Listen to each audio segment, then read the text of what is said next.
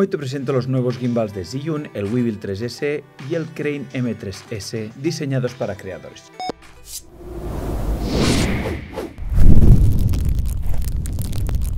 Hola fanáticos, ¿qué tal estáis? Espero que súper bien. Aquí les habla Willy Fox, ya por fin desde el nuevo estudio.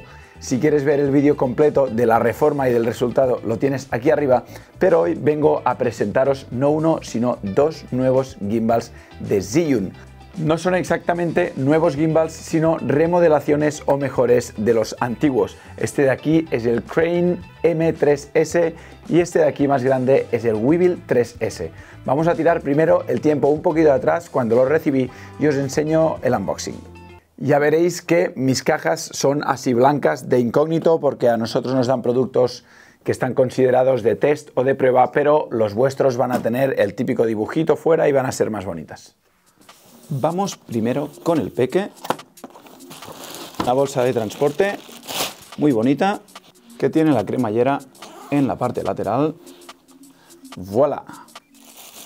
Mini trípode, la asa para llevar el gimbal que en realidad es muy pequeño para lo que veo. En esta parte tendremos todos los cables. Aquí tenemos una pinza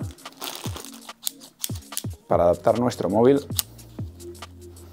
Y la parte de delante también se abre por si queremos poner algo aquí en el bolsillo pequeño. Aquí lleva dos imanes. Vamos ahora con el grande.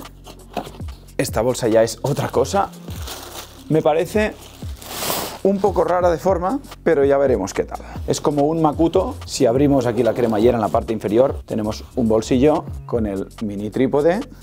Aquí en el bolsillo tenemos los accesorios donde poner la cámara y el Quick Release. También tenemos todo el conjunto de cables, nada más por aquí. Hay que quitar el velcro y quitamos el gimbal, que también me parece bastante ligero y pequeño. ¿eh? Lleva ya todos los brazos bloqueados y como este es el combo, también tenemos este brazo extra donde podremos agarrar y donde podremos apoyar también nuestro brazo. La gente de Zhiyun también me envió estos fluorescentes para jugar con las luces y para poder hacer presentaciones más chulas. Y aquí la tenéis, la Eye F100 Combo todo en el mismo estilo, con las letras aquí japonesas o chinas, exactamente no sé. El cargador, todo en espuma para que esté bien protegido. El cable para enchufar. Y aquí veis el fluorescente.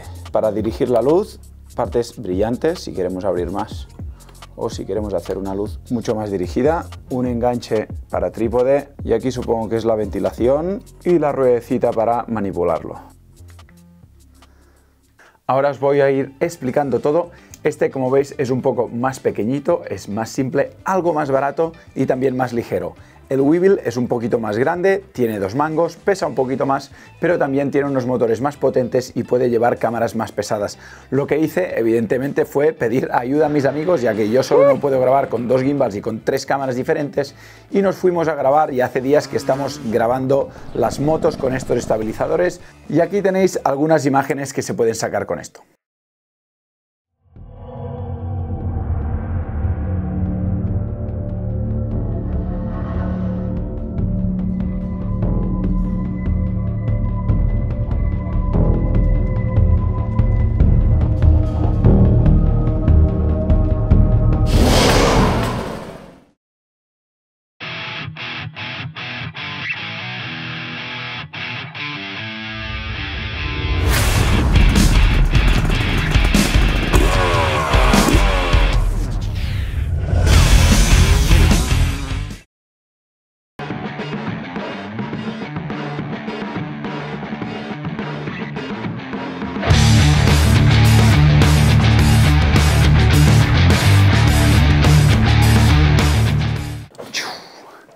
Ya estoy aquí después de algunas semanas de probar intensamente estos dos gimbals.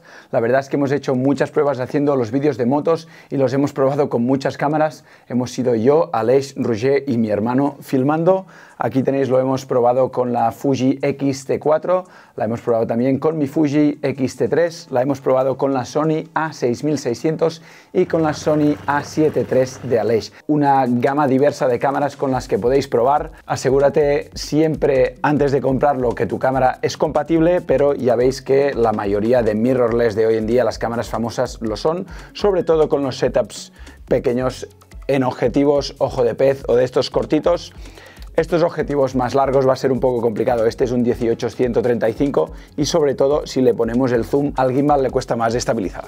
Toca que os enseñe después de ver todas estas imágenes un poquito técnicamente cómo son estos gimbals y las partes que tienen.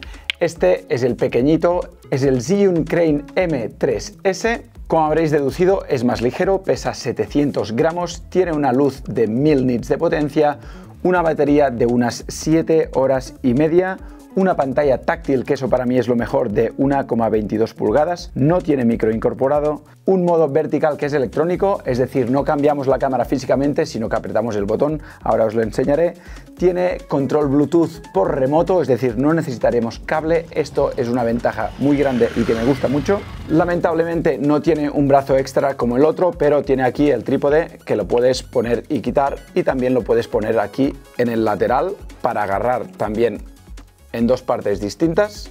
Su precio simple es de unos 319 dólares y con el combo con la maleta y demás sale por unos 379. Para mí la maleta aquí no es indispensable ya que normalmente los llevo en mi mochila. Carga rápida, tarda unas dos horas en cargarse y es un estabilizador pequeño ligero y 3 en 1 ya que tiene la pinza incorporada para poner un smartphone, podemos poner una cámara sin espejo, mirrorless o también podríamos poner una cámara de acción. Crane M3S con la Fujifilm X-T4 montada y os enseño un poquito los botones y las funciones. El botón de power lo tenemos en este lado de aquí, si pulso durante un rato veis que se enciende la pantalla. Esta pantalla es lo mejor que tiene para mí, el mode, pan follow, lock, follow, POV, go, vortex y portrait, tenemos todo aquí. Para atrás aquí tenemos balance para balancearlo, settings, las opciones, información, Voy a desbloquear también los brazos que se hace por aquí arriba. Uno, por aquí arriba, dos y por aquí detrás, tres. Aquí ya veis que el gimbal se puede mover.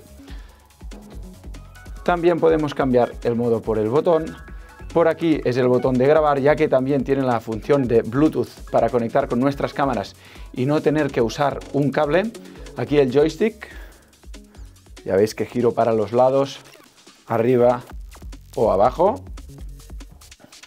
Aparte de una entrada de un cuarto para poner este trípode aquí o cualquier otro accesorio, aquí tienen la ruedecita también para la luz. Pulso aquí ruedecita, enciendo la luz y rodando cambio la intensidad, pulso y ahora se va a temperatura más cálida, más fría. Tendremos el trigger, si pulsamos dos veces recentra el gimbal, si pulsamos tres 1, 2, 3. Ponemos en modo selfie, ya veis que es muy suave. 1, 2, 3. Vuelve a nuestro sitio. Y aquí también la misma rueda, que es móvil y podemos hacer fácilmente con el dedo cuando tenemos agarrado el gimbal ya que movemos de aquí a aquí, que hay muy poco espacio. A diferencia del otro, este no tiene el Quick Release, pero para ponerlo vertical, vamos a apretar aquí a Mode, vamos a Portrait, apretamos y vemos que la cámara se pone vertical y entonces si bajo el gimbal tengo ya la cámara en vertical.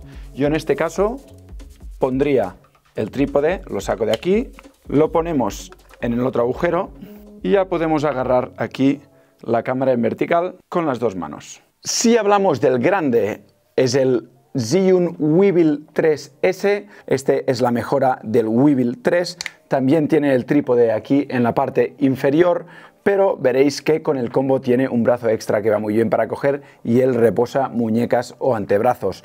Este tiene un peso de tan solo un kilo, 1054 gramos, también tiene una luz variable en intensidad y en temperatura de 1000 nits, una batería de 2600 mAh que nos dicen que puede durar hasta 10 horas y media u 11, lo que me parece más que suficiente para los días de grabación. Tiene una pantalla, pero esta no es táctil y para mí es el error que tiene este gimbal. Ya no incorpora micro, el modelo anterior sí tenía micro. La batería es un poquito más pequeña porque ya no tiene esta pieza de ahí que tenía más batería. Tiene el modo vertical físico, es decir, podemos quitar la cámara con el quick release y la ponemos así fácilmente vertical. Ya sabéis que la creación de contenido hoy en día está muy de moda el contenido vertical, tanto para Instagram como para TikTok. Y tendremos la opción de controlar las cámaras sin cable con el Bluetooth remoto y activar por el botón grabar y dejar de grabar, lo que me parece muy cómodo y por fin los gimbals empiezan a traerlo. Para mí, si compras este, es necesario que compres con el combo que te viene con el brazo y con todo, que va mucho mejor para sujetar y ya que tenemos el cambio de posición, es como si tuvieras un gimbal de dos brazos y eso va mucho mejor, sobre todo cuando grabas acción y deportes como yo, que siempre estamos corriendo en terrenos desiguales y dando mucha caña. Su precio simple es de 339 euros, solo 20 euros más que el pequeño, pero su precio con el combo ya asciende a 469 euros. También tiene carga rápida, nos dicen que en unas dos horas está cargado completamente y tiene el autotune, el auto tune de los motores, por lo tanto cuando pones la cámara pulsas un botón y él se autocalibra solo. Primero desbloqueamos todos los brazos, este, este y este y botón de power que es este de aquí arriba. Vemos que se enciende la pantalla y ahora ya está la cámara aquí estabilizada. Si veis que se mueve, botón de menú, veréis que nos va a las opciones. Aquí podremos mover las opciones con la ruedecita arriba abajo y si pulsamos nos acepta la opción. Quitamos el menú y aquí tendréis el modo que está utilizando. Pan and follow y si pulsamos aquí a la M de modo nos cambiará. Modo lock, modo follow, modo pan and follow. Si pulsamos dos veces, nos va a POV, dos veces más, nos va a V de Vortex. Pues aquí al lado del botón de modo tenemos el botón para empezar a grabar o parar de grabar y aquí tenemos el joystick que veis que si pulso la cámara va a los lados, en la parte delantera, trigger, si pulsamos dos veces se centra la cámara, si pulsamos tres veces, una, dos, tres, se va a poner en modo selfie y aquí otra ruedecita con la que podemos girar lateralmente la cámara. Una entrada para cargar el gimbal y también para cargar la cámara si queremos mientras estamos grabando. La empuñadura, si aflojamos aquí muy rápido, la podemos cambiar y ponerla lateral para agarrar con dos manos y también la podemos alargar por aquí, donde vamos a reposar nuestra muñeca y poner un poco de fuerza en el antebrazo y con esta ruedecita la giramos y podemos cambiar de posición para arriba o para abajo.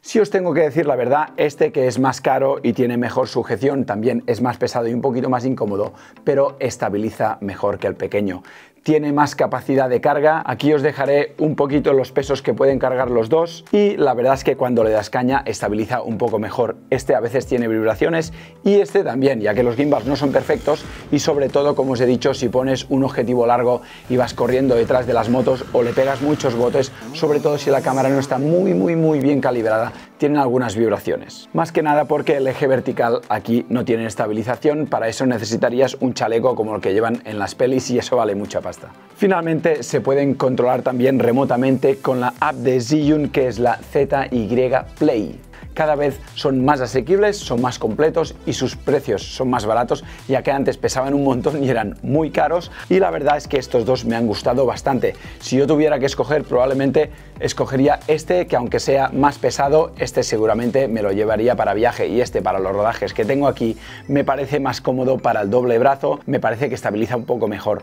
Para mí el problema que tiene es que no tiene la pantalla táctil y este sí, así que siempre los productos tienen algo de bueno y algo de no tan bueno, pero por la diferencia de precio creo que vale la pena. Yo cada vez en rodajes serios utilizo más los gimbals, aunque normalmente me da pereza, porque a veces cuesta un poco montarlos y lleva un rato calibrarlos, cuando te vas acostumbrando a hacerlo y al final lo tienes bien, como aquí tienen el quick release y la cámara se puede sacar rápido y volver a poner en el mismo sitio, no tienes que calibrar cada vez y eso hace que te ahorres mucho rato. Los dos tienen la opción, como veis aquí, de bloquear los tres brazos, eso os lo recomiendo que lo hagáis cuando ya no los vayáis a usar, así la cámara no se mueve y los brazos no van dando golpes, aunque tiene si lo veis aquí, un poquito de vibración. Creo que esto aún se podría mejorar un poquito. Y si tenéis preguntas, evidentemente las podéis dejar en comentarios. Yo después de usarlos puedo decir que es muy buen producto, que los voy a seguir usando sobre todo en mis vídeos para compañías, ya que para el canal utilizo mucho las GoPros y estas ya estabilizan, la verdad es que súper bien sin ningún estabilizador. Y sí que me ha sorprendido muy gratamente la luz que me dejaron para hacer esas intros que habéis visto con las motos y para iluminar aquí, hacer algo un poquito más original. Es muy potente, cambia de color y tiene los reflectores para hacer la luz más dirigida.